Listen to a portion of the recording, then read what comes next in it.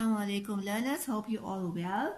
Today's work is exercise 95A and 95B on page 166 and 167. So I'm just going to do an example with you, right?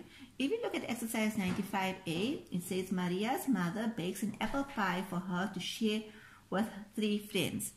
So here's my apple pie, right? Remember it says Maria and her three friends. So that's four people. And I'm dividing my apple pie into four. Right. So it says how many children need to get a piece of the pie. So this is just a matter of reading the question carefully. Right. And if you see, like I said, it says her three friends, that's three people, and Maria, that's four. So four people need to get a piece of the pie.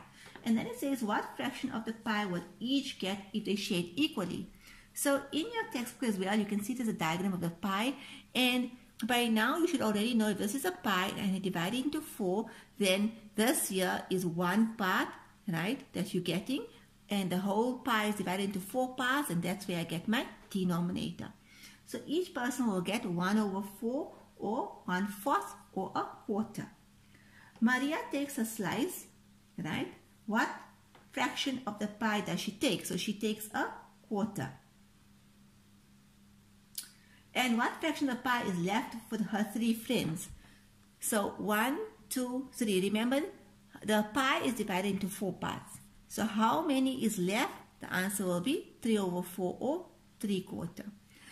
Um, the thing about word problems is just about reading it very carefully, okay? And always drawing a diagram. And if you look at number one, um, there is a bit of a repetition in terms of how they ask the questions. So it's just being a bit careful when you're reading. Uh, number two, Abdul brings two words past to school to share with Lundi, Maria, and Jabu. Now, again, if you look at that question, Abdul is one person, Lundi, Maria, and Jabu. Right? That's four people. And two words bars. So I'm going to draw the two words bars. Right? Here's two words bars. And if you look at it, I'm going to draw stick people here. Okay? We have four people.